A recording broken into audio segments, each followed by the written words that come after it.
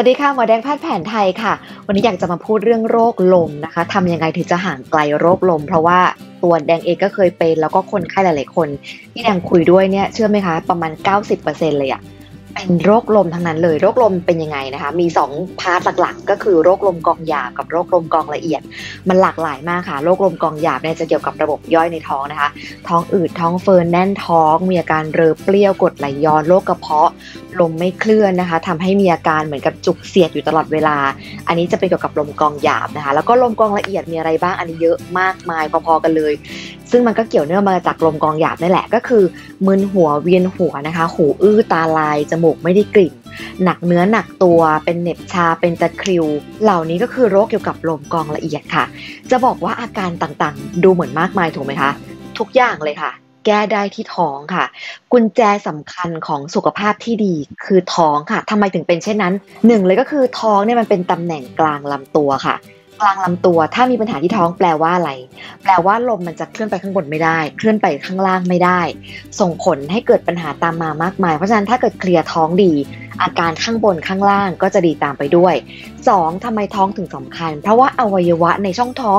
เกี่ยวกับระบบย่อยหมดเลยค่ะเป็นเหมือนกับสำนักงานใหญ่ของร่างกายค่ะ เวลาที่เรากินอาหารเข้าไป มันจะไป process ที่ท้องก่อน แล้วกลายเป็นสารอาหาร สารอาหารจะส่งผ่านหลอดเลือด ต่างๆ มาที่หัว แล้วก็ลงไปข้างล่างนะคะ แล้วพอได้มาเรียนแพทย์แผนไทยนะคะ จุดเริ่มต้นของการไหลเวียนทุกอย่างมาจากท้อง เส้นประธานสิบค่ะ ทุกเส้นเลยค่ะ เริ่มต้นมาจากกลางท้องหมดเลย แล้วมาจบที่โสตประสาททั้งสิบแต่ก็คือจมูกทั้งสองตาทั้งสองหูทั้งสองแขนขาระยางของเรานะคะ แล้วก็ระบบปัสสาวะอุจจาระประจำเดือน เหล่านี้ อันนี้คือปลายทวารทั้งสิบแต่เริ่มต้นมาจากท้องค่ะ แปลว่าอาการปลายต่างๆ จะดีขึ้นถ้าเราดูแลท้องดีนะคะ เพราะฉะนั้นค่ะแดงเราอยากจะมาแบ่งปันอยู่ 4 อย่างด้วยกันที่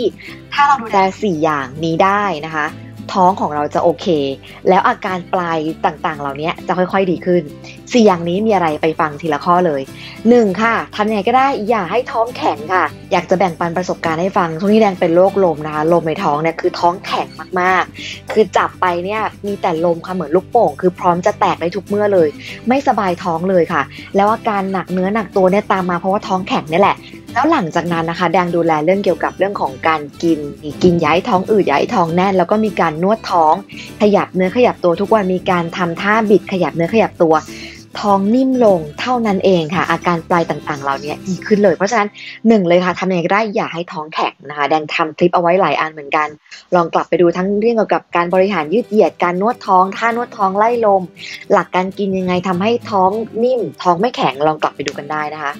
สองค่ะ อย่าให้ท้องผูกค่ะ คนที่ท้องผูกนะคะ อาการต่างๆ จะตามมามากมายเลยหนักเนื้อหนักตัวปวดเมื่อยท้องแน่น พานเอาให้หายใจไม่ออกหายใจไม่อิ่มนะคะ แล้วก็ลำไส้จะไม่ค่อยดีโรคผิวหนังผื่นคันภูมิแพ้ไม่รู้สาเหตุเนี่ยจะเริ่มตามมาเพราะฉะนั้นค่ะ อยากให้ท้องผูกอันนี้ข้อที่สองสามก็คืออยากให้ท้องของเราร้อนหรือว่าเย็นจนเกินไปค่ะ ท้องเราต้องอุ่น การทำให้เป็นชี่ได้ก็คือเราต้องคอยดูแลอวัยวะที่มันอยู่ภายในช่องท้องของเรา มีอะไรบ้างคะ มีตั้งแต่ตับกระเพาะลำไส้ม้ามไตมดลูกนะคะ พวกนี้เราก็ดูแลตามส่วนของมันเลยค่ะ ตับไม่ชอบอะไรคะ ตับก็คือจะไม่ชอบความเครียดความโกรธ ไม่ชอบอาหารรสมันหรือว่าหวานไขมันสูงจนเกินไป ก็คอยดูแลอย่าให้เป็นแบบนี้เออแล้วก็ไม่ชอบนอนดึกด้วยนะคะ ไม่ทำแบบนี้ตับก็จะไม่ร้อนนะคะ ม้ามกระเพาะลำไส้เป็นเกี่ยวกับระบบย่อยไม่ชอบอะไรคะพวกนี้ไม่ชอบการกินอาหารไม่เป็นเวลา ไม่ชอบการกินอาหารรสจัด ไม่ชอบการกินแบบกินดึกๆกินเยอะ ๆ อาหารตกค้างในลำไส้ในกระเพาะมากๆ พวกนี้กระเพาะลำไส้จะต้องทำงานหนัก ก็ดูแลอย่าทำแบบนั้นนะคะส่วนต่อไปไตค่ะไตเป็นอวัยวะที่ควบคุมสมดุลน้ำในร่างกายไตจะไม่ชอบอะไรคะไตไม่ชอบอาหารรสเค็ม ไม่ชอบอาหารที่มีการแปรรูปเยอะๆไตไม่ชอบการกินน้ำน้อยไม่ชอบการอั้นปัสสาวะเพราะฉะนั้นก็ดูแลเรื่องเหล่านี้นะคะ อีกอันหนึงก็คือมดลูกค่ะ อันนี้เกี่ยวกับของผู้หญิงนะคะ ก็คอยดูแลอย่าให้มดลูกเย็นค่ะ อย่าอยู่ในห้องที่เย็นจนเกินไปช่วงที่ประจำเดือนมา ก็ดูแลให้มดลูกอุ่น แล้วก็ขับเอาเลือดของเสียออกไปให้ดีที่สุด เพียงเท่านี้ค่ะ พออวัยวะในช่องท้องเราได้รับการดูแลไม่ให้มันร้อน หรือว่าเย็นจนเกินไปมันก็จะฟังก์ชันดี ก็จะทำให้มันส่งเลือดไปเลี้ยงส่วนบนแล้วก็ส่วนล่างได้ดี ปัญหาที่เกี่ยวกับระบบพวกนี้ก็จะหมดไปนั่นเองค่ะ ข้อ 4 นี่สำคัญ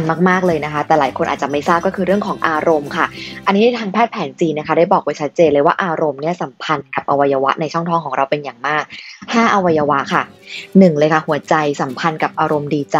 2 ตับค่ะสัมพันธ์กับอารมณ์โกรธ 3 ปอดสัมพันธ์กับอารมณ์วิตกกังวลแล้วก็ความเศร้านะคะ4ม้ามกับกระเพาะสัมพันธ์กับอารมณ์คิดมาก แล้วก็คนที่ครุ่นคิดเยอะๆ แล้วก็สุดท้ายไตสัมพันธ์กับความกลัวค่ะ แปลว่าอะไรคะ แปลว่าถ้าเราเป็นคนที่มีอารมณ์เหล่านี้อยู่ตลอดเวลา เช่น เป็นคนคิดมากครุ่นคิดก็จะส่งผลกับการทำงานของกระเพาะแล้วก็ม้ามทำให้มันทำงานได้ไม่เต็มประสิทธิภาพทำให้มันเหนื่อยล้าเร็ว หรือว่าคนที่มีอารมณ์โกรธบ่อยๆอย่างเงี้ยค่ะ ก็จะส่งผลทำให้ตับร้อนนะคะ แล้วก็คนที่มีความกลัวความไม่ตกกังวลอยู่ตลอดเวลา